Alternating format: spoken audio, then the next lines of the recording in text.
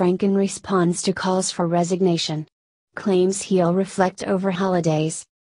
A spokesperson for embattled Senator Al Franken says the Minnesota Democrat won't resign over the sexual harassment scandal that a rebarbative photo and a first person account of the encounter have unleashed, the Minneapolis Star Tribune reports. Instead, the spokesperson said the senator will be doing a lot of reflecting over the Thanksgiving holiday. And by a lot of reflecting, we can only assume he means a lot of deflecting. The remarks came at the end of a brutal, whirlwind week for the lawmaker, once considered a fast rising star within the party and a contender for the 2020 presidential nomination. On Thursday, Los Angeles radio host Leeann Tweeden accused the senator of sexually inappropriate behavior during a 2006 USO trip just two years before Franken was elected to the upper chamber. In her piece, Tweeden describes Franken as writing a skit which required her to kiss him and then forcibly kissing her and what he tried to pass off as a rehearsal. Tweeden later discovered photographs of Franken groping her while she was asleep.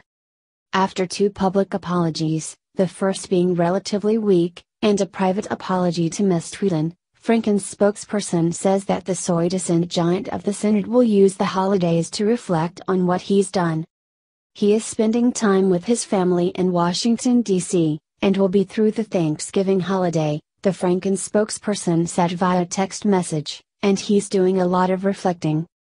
A lot of reflecting? This isn't getting sent home from school because of a prank gone awry. This is getting caught on camera groping another woman who also claims she was forcibly kissed. Sitting in the corner brooding quietly over misdeeds just won't do, and it's nothing more than deflecting from the allegations made against him. As for whether Franken would consider resigning? No, the spokesperson replied bluntly. Meanwhile, Democrats, including Franken himself, are asking for a Senate Ethics Committee investigation. For those of you hoping for a positive sign in that development, don't get your hopes up, the Senate Ethics Committee is usually where misdeeds go to die. As Ben Shapiro pointed out at the Daily Wire, out of 613 allegations and 75 preliminary investigations between 2007 and 2016, there were a grand total of zero sanctions handed out by the committee.